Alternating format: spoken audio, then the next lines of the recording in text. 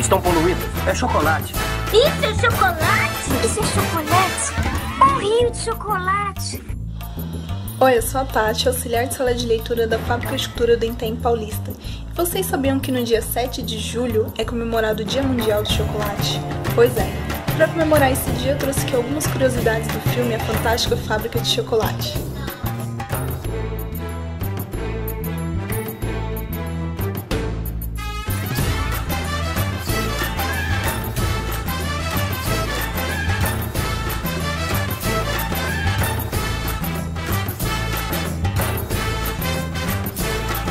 Em 30 de junho de 1971, chegava aos cinemas americanos a fantástica fábrica de chocolate, apresentando um dos personagens mais icônicos do cinema.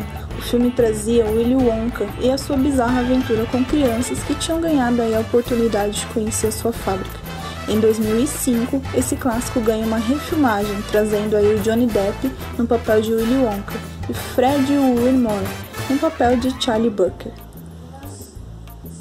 Bom, para falar sobre o filme, eu resolvi fazer uma espécie de desenho e fala, bem comum entre os ilustradores aqui no YouTube. Não sou profissional, mas a gente tenta, né? E enquanto eu falo sobre as curiosidades, vocês irão ver uma ilustração que eu fiz, tendo como referência o cenário presente no filme, como doces e também o rio de chocolate. E eu também fiz ali no final meio que o bilhete premiado. Então, Vamos agora para as curiosidades desse filme. E vocês sabiam que muitos objetos e plantas do filme eram mesmo comestíveis, inclusive os pirulitos gigantes? Já a flor xícara que o Wonka saboreia após beber o seu conteúdo era de cera. E o ator ele teve que mastigar aí os pedaços da xícara até o final da cena. E também a reação das crianças ao verem é, a sala ali de cachoeiras de chocolate foi real, porque era a primeira vez que elas estavam vendo o cenário. É, curiosidade número 2. Esse é o único filme em que Peter Ostro, intérprete do Charlie Bucker, atuou. Quando ele cresceu, ele se tornou veterinário. De todas as crianças desse longa, que é o primeiro filme, de 1971, a única que continuou atuando foi Jolly Dow Collar, que é a Verusca Salt. Curiosidade número 3. A história foi originalmente inspirada em fatos reais pela experiência que Hold Down viveu na sua infância, onde durante seus tempos de escola, uma famosa empresa de chocolate chamada Cadbury, acho que é assim, costumava enviar pacotes de testes para os alunos em troca de suas opiniões sobre os novos produtos. Naquele tempo, em torno da década de 1920, a fábrica Caldebauer e a fábrica Hontree, que eram os dois maiores fabricantes de chocolates da Inglaterra, tratavam aí uma grande disputa comercial entre as duas, né?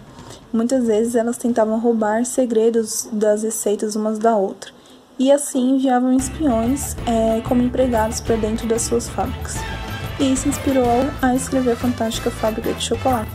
Curiosidade número 4. As filmagens do primeiro filme começaram em 30 de abril de 1970 e terminaram em 19 de novembro de 1970. Curiosidade número 5. A fantástica fábrica de chocolate passou por uma imensa campanha de marketing e teve até que mudar o seu título original por conta disso. O nome original seria Charlie the Chocolate Factory, como no livro, é, mas ele foi trocado por Willy Wonka The Chocolate Factory para promover as barras de chocolate Wonka, que foram pro produzidas pela Quaker Watts, um dos patrocinadores do filme. O problema é que uma tonelada desses itens teve que ser retirada das lojas porque a receita deu errado e todas elas derretiam facilmente nas prateleiras. E agora, para terminar, uma curiosidade bônus. Na cena onde tem os esquilos, vocês acreditam que parte dessa cena foi feita digitalmente e a outra são esquilos de verdade? Isso mesmo. Quando eu fiquei sabendo, eu também não acreditei. Mas é, alguma, algum daqueles esquilos que estavam ali fazendo a cena foram treinados para participar. E alguns zooms ali que eles dão no rostinho do animal é o rostinho do bichinho verdadeiro mesmo, não é montagem, é um esquilo de verdade. Bom, essas foram as curiosidades do filme. Eu espero que vocês tenham gostado. É, vou deixar aí agora vocês com o restante do processo da ilustração. E no final tem o resultado do, de como ficou.